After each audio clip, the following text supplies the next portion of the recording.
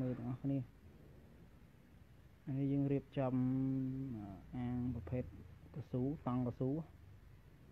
យើងមើលយ៉ាងនេះបាតក្រោមហើយ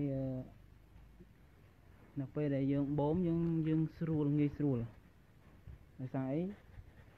សន្តានដីនៅក្រោមកស៊ូរបស់យើងវារៀងទៀបទៀបមួយចំហៀងខ្ពស់មួយចំហៀងឥឡូវយើងមើលយើងមើលទឹកបងប្អូនគ្នា ធ្វើមកឲ្យទឹករត់មកក្នុងប្លុកនេះអញ្ចឹងពេលដែលយើងបូមកូនបកងវាងាយស្រួលក្នុងការចាប់វាអត់ហត់ពិបាកចាប់ហើយទឹកគឺយើងបូមអស់អស់អស់លីងមកអត់នៅសល់ទេបោះសម្អាតអីក៏ស្រួលដែរយើងមើលយើងធ្វើដីធ្វើដីអញ្ចេះ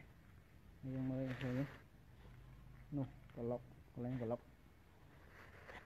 ហើយមានចងល់អីតាក់តងការធ្វើស្រះធ្វើអាងហើយយើងមានបញ្ហាអីអាចភាសាសួរបានទាំងអស់ច្បាស់ហ៎ច្បាស់ជួយខមមិនមួយម្នាក់អានេះអាងរបស់យើង គឺទំហំ3ម៉ែត្រមួយទឹក3ម៉ែត្រពីទឹកហ្នឹងហើយហើយប្រវែងវា5 4ម៉ែត្រកន្លះ ណាអូខេអញ្ចឹងយើងធ្វើបែបនេះយើងអស់លុយតិចអត់ចាស់ចាស់អីយើងអាចរៀបបានអស់មកយើងលាតកស៊ូអញ្ចឹងមកកស៊ូយើងមុខមុខកស៊ូយើង2ម៉ែត្រហើយយើងវះវះជា2ក្រៅវា2ជាន់ណាក្រៅ2ជាន់អានេះអានេះគឺជាអាងស៊ីម៉ងធ្វើអញ្ចឹងវាអស់លុយច្រើនដែរ ហើយយើងត្រូវការរៀបដែករៀបបេតុងក្រាស់បូកជួយអស់លុយច្រើនយើងរៀបជាលក្ខណៈកស៊ូចេះមកអស់លុយតិចឥឡូវកំពុងបញ្ចូលទឹកអស់គ្នាហើយអ្នកទាំងអស់គ្នាប្រហែលជាឆ្ងល់ហើយឆ្ងល់ថាហេតុអីបានចាំបាច់ដាក់កញ្ច្រែងនេះអញ្ចឹងកញ្ច្រែងនេះយើងដាក់សម្រាប់ដាក់មេមេបង្កងគឺនៅក្នុងកញ្ច្រែងមេដែលពងហើយយើងមើលបងប្អូនមេវាអញ្ចឹងពេលដែលមេនឹងចាប់ផ្ដើមពងគឺវាក្តោបបន្ទុយអញ្ចឹងយើងដាក់ក្នុង កញ្ច្រែងងាយស្រួលក្នុងការគ្រប់គ្រងមេមិនឲ្យមេដើរញ៉ៃញ៉ៃអឺរយៈពេលដែលកូនចុះដើរអស់45ថ្ងៃគឺយើងចាប់មេចេញយកទៅប្រកាត់ទៀតអញ្ចឹងយើងងាយស្រួលចាប់បើសិនជាមេនៅក្នុងកត្រកកូនដែលដែលវា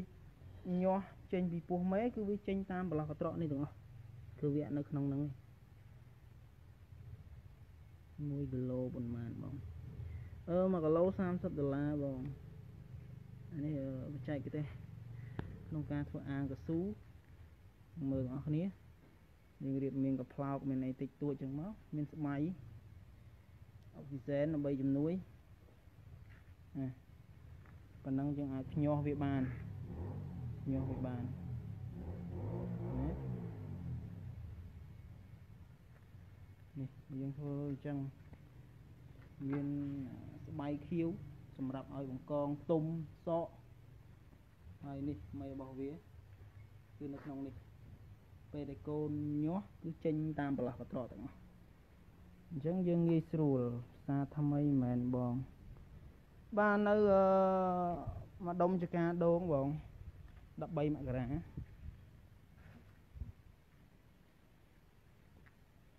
អានេះអាងដល់ថ្ងៃដាក់ចិត្តដល់ថ្ងៃដាក់ ចិត្តដល់ថ្ងៃដាក់ហើយយើងត្រាំរយៈពេល10ទៅ15ថ្ងៃ មានដើមចេកមានដើមចេកដើម្បីជំនួយ កាត់សារធាតុកបោ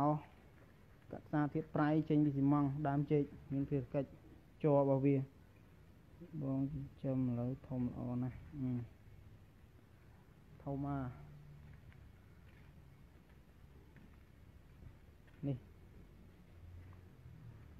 នេះយើងចង់ណែនាំរបៀបធ្វើអាងកស៊ូខាងបងមានបង្រៀនចិញ្ចឹមឬអត់បាទមានបង្រៀនចិញ្ចឹមទាំងអស់ឲ្យតែពាក់ព័ន្ធជាមួយការចិញ្ចឹមបកងអាចសួរសួរខ្ញុំបានគ្រប់ពេលភាសាគ្រាបានទាំងអស់នេះអាងអាងធ្វើពីកៅស៊ូផ្លាស្ទិកញ៉េវាងាយស្រួលយើងបញ្ចូលទឹកមកចិញ្ចឹមនៅណាដែរនៅខាងអឺ13មករាបង ខាងបាត់ដំបងនេះអានេះអានេះគំរូអានេះក្រាលកស៊ូហើយអានេះអត់តាន់ក្រាលកស៊ូខាងក្រោមហ្នឹងយើងក្រាលជាលក្ខណៈយើងបើយើងមានកាមក៏ក្រាលបានអានេះខ្ញុំក្រាលផេះផេះកាមក្រាលផេះកាមហើយយើងបាញ់ទឹកវាសើមហើយជន់វាហាប់បន្តិចទៅអញ្ចឹងវាការពារបើសិនជាមានថ្មក៏អត់មុតដែរដោយសារយើងក្រាលកាមអឺ អ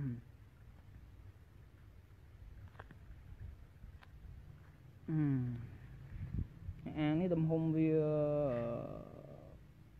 3ម៉ែត្រ3 3ពីទឹកគុណនឹង5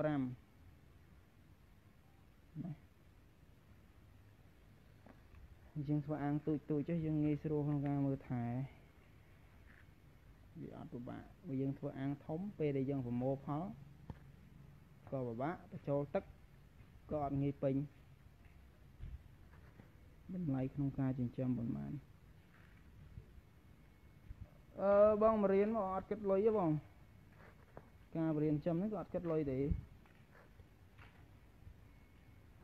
អានេះពងរៀបចំហ៎ពងរៀបចំអាងបន្ថែមរៀបចំច្រើនមែនទេដើម្បីបំពេញតម្រូវការរបស់បងប្អូនយើងដែលគាត់ចង់ចិញ្ចឹមហ្នឹង ត្រូវធ្វើឲ្យគាត់ធ្វើឥឡូវនេះធ្វើអត់គ្រប់តិចពេកយើងតធ្វើថែមធ្វើច្រើនទៀតតច្រើនទៀត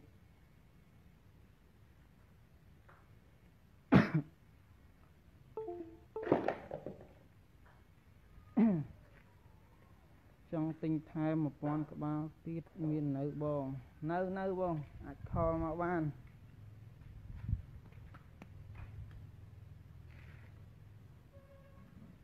នេះនេះដើមចេកដើមចេកជាប់របស់វាគឺល្អមែនតើ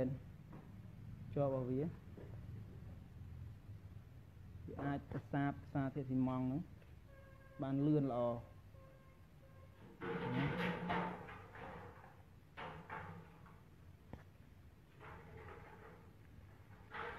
ហឹម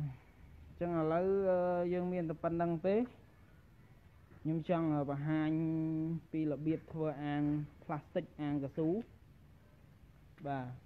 អញ្ចឹងយើងមើលបើសិនជាមានបញ្ហាអីតាក់ទងនឹងការចិញ្ចឹមការធ្វើអាងការតអុកស៊ីហ្សែនរបៀបរបបអីផ្សេងផ្សេងការថែទាំក្នុងស្រះក្នុងលូក្នុងអីទាំងអស់ឲ្យតែចិញ្ចឹមបកងបានហ្នឹងអាចតាក់ទងមកខ្ញុំផ្ទាល់បានលេខទូរស័ព្ទនៅក្នុង page ផ្ទាល់ អញ្ចឹងយើងប៉ុណ្ណឹងសិនទៅបានហើយបានហើយ